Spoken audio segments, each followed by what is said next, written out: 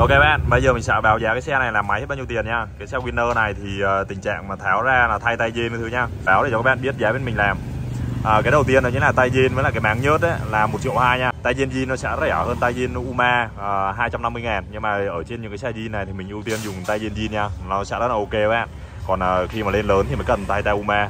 Nhiều khi cứ tay đồ chơi chưa chắc nó bằng tay jean đâu. Tay jean nó có cái lợi thế riêng của nó nha rồi cao su tại dên là 220 ngàn Một cái bạc đạn số 6203 là 85 ngàn.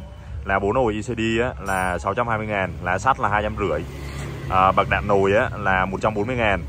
À, Bộ rong máy trừ cái rong lốc nồi ra là 440 à, Làm lòng trái zin là 1 triệu 050 ngàn Căn đồng tiền 200k à, 4 phút xúc bắp là 160k nha. À, Cái này mình ghi nhầm 200k à, Cam Rider là 430 ngàn Bây giờ có tùy chọn trên Cam Rider, trên cam DID rồi trên cam à, uh, Zin à, Nhiều loại lắm, trên cam jean thì mắc hơn. Còn uh, nếu mà các bạn uh, có nhu cầu mà tiết kiệm một chút đấy thì trên cam Rider cũng hợp lý, cũng ok. Trên cam Rider 430 ngàn nha.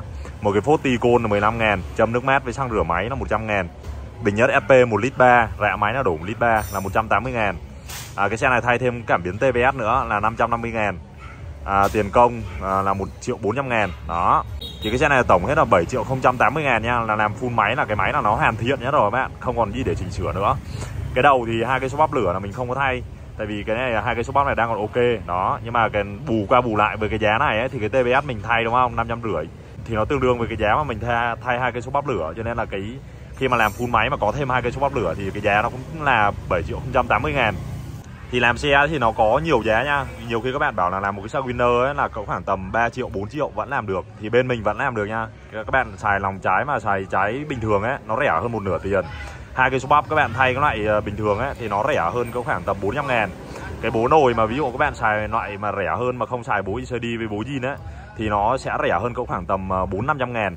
Rồi là mỗi thứ nó rẻ đi một chút, mỗi thứ nó rẻ đi một chút đấy thì nó sẽ rẻ hơn rất là nhiều nha nhưng mà bên mình thì mình sẽ ưu tiên làm cái này cho nó hoàn thiện hơn. Thì cái giá nó là như thế này là cái giá tối ưu nhất rồi nha. Và cái xe của mình nó ok nhất.